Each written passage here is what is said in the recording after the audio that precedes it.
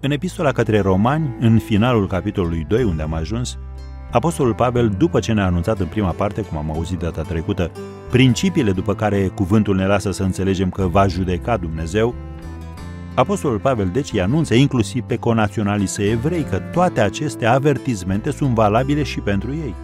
Nu vor fi absolviți pentru simplul fapt că s-au născut în poporul ales al lui Dumnezeu. Iată ce tranșant se încheie capitolul 2, de la versetul 28. Iudeu nu este acela care se arată pe din afară că este iudeu și tăiere împrejur nu este aceea care este pe din afară, în carne, ci iudeu este acela care este iudeu înăuntru și tăiere împrejur este aceea a inimii, în duh, nu în slovă. Un astfel de iudeu își scoate lauda nu de la oameni, ci de la Dumnezeu. Am încheiat citatul. Așadar, oricine ai fi din orice neam, dacă nu ești conștient de păcatul din viața ta, ești într-un punct și într-un moment de mare pericol. Ești ca un om prins într-un viscol puternic pe care îl ia somnul și care crede că dacă se oprește să se adăpostească undeva, zăpada îi va ține de cald, dar de fapt va muri înghețat. Mulți oameni trăiesc azi în felul acesta, amorțiți, insensibili, inconștienți că sunt păcătoși pierduți înaintea lui Dumnezeu.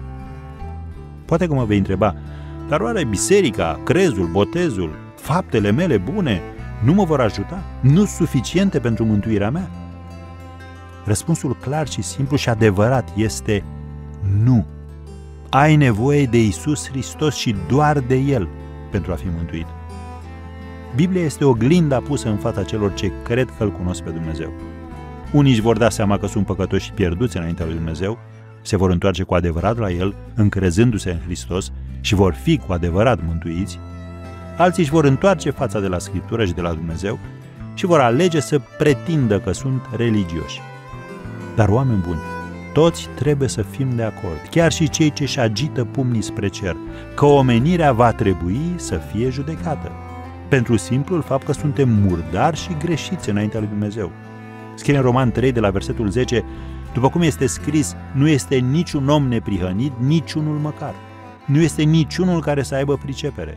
Nu este niciunul care să caute cu tot din adinsul pe Dumnezeu. Toți s-au abătut și au ajuns niște netrebnici. Nu este niciunul care să facă binele, niciunul măcar. Am încheiat citatul. Puține sunete sunt mai grozave decât sunetul ciocanului ce lovește masa judecătorului, însoțit de verdictul implacabil al acestuia, vinovat. Fiecare ființă omenească va sta înaintea Creatorului, susținătorului, răscumpărătorului și judecătorului pământului și cerului și să știți, nimeni nu poate pleda nevinovat înaintea lui. Ei, dar între Romani 3, versetul 20 și versetul 21 din același capitol, există o falie, o separație de tip Marele Canion. Tocmai că ne pregăteam înfrigurat să ne aflăm sentința pentru păcate, Dumnezeu se întoarce către noi ca să ne anunțe că există șanse de salvare, că putem fi răscumpărați prin credință. Ca să aflați amănunte, cred că ne vom întâlni și data viitoare, nu?